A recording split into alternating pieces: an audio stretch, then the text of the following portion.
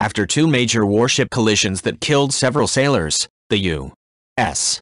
Navy's Pacific Fleet commander was removed from his post Wednesday. Vice ADM Joseph Aucoin, current commander of 7th Fleet, was the three-star commander of the United States. 7th Fleet based in Japan. Wednesday, he was relieved of command. Aucoin was set to retire in September. He was replaced effective immediately by Rear ADM.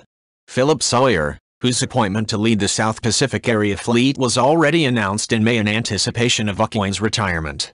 The move to push Aucoin out comes days after the USS John S. McCain collided with an oil tanker near Singapore. At least 10 soldiers went missing in the crash and some of their remains have been recovered. The incident is under investigation.